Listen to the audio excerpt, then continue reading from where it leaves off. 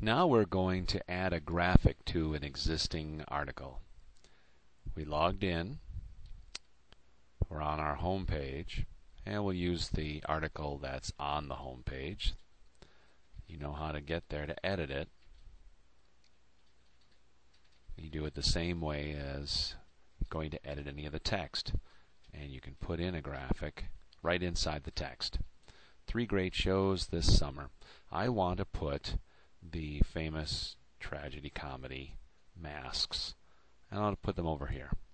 In other words, I want the text to go until it reaches the graphic and then wrap around uh, uh, around the bottom of it.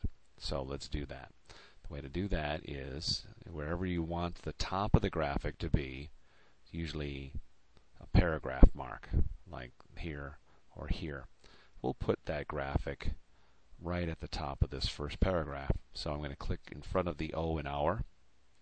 Then I'm going to go up and I'm going to click on Insert an Image. It's going to ask where the image is. Well, it's on my hard drive of my computer. It's not yet on the server. So we'll do a two-step process. We'll put the graphic up there, and then we'll tell DotNetNuke where the graphic is. So click on Browse Server, because it's going to ultimately get on the server. And it's going to open up a new window.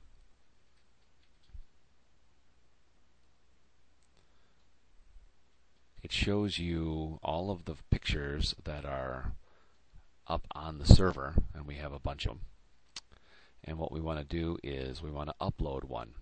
So up here is where we put up a new one.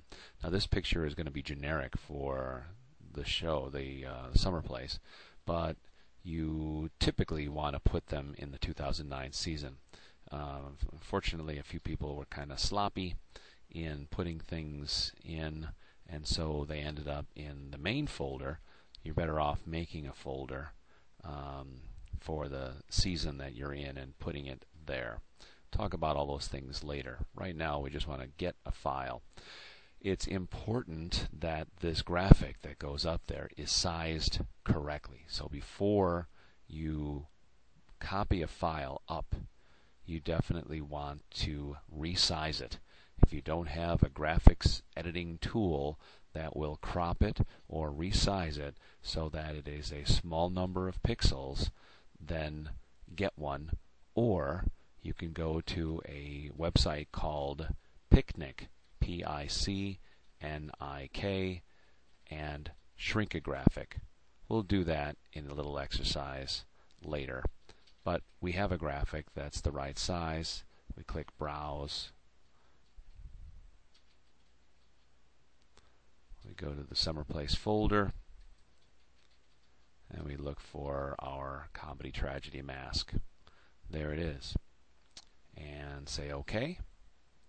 And now the address is loaded in there and we click upload new file. It takes a second or two to upload the file and then the screen will refresh.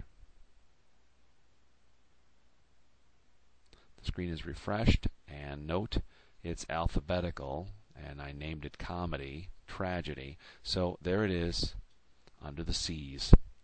And to get it to be on my page now, I'm ready to select it. All I have to do is click on it to select it. Notice that it is there, and it is not right aligned off to the right. It's at the beginning of the paragraph. I need it to be right aligned. That's what happens over here the number of characters, uh, rather pixels, for the width of the picture, the number of pixels for the height of the picture. The border, there's no box around it. That's what the border is, and you can set that to zero to be sure that always is the case. The number of spaces, do we want spaces to be on either side? If there were words, they would crop right up to the edge here. There looks to be just a couple of pixels there. I'd like it to be a few more pixels than that, so I'm going to put four pixels of horizontal space. Notice the graphics scooted over. Uh, there appears to be some uh, on the top and bottom, but there, just in case, I like to put a few on the top and bottom as well. So there's another four, and that stretches it out. Finally, to get this graphic so that it's on the far right side, so the text wraps to its left, we want to right align the graphic. So we use the drop down menu. Look down, there's several options. There's left for putting it on the left and having the text wrap around to its right, or right and have it wrapped around its left. We want it to be right aligned. Notice how the graphic now is over here and the sample text wraps around it. All is good. One last thing you may want to do, and this helps search engines, is put in what's called alternative text. It's stored along with the graphic on the web page, and spiders and other search bots find it. So let's call this comedy, tragedy, masks. And then say OK. Boom, it's in there, it's on the website. Um, it's in this little window. This is the editor, of course. As you know, I can always cancel and none of the changes I made will take effect. Or I can click Update. Let's click Update. And it takes me back to our main page. And if I scroll down, there's our comedy tragedy masks. That's how it works.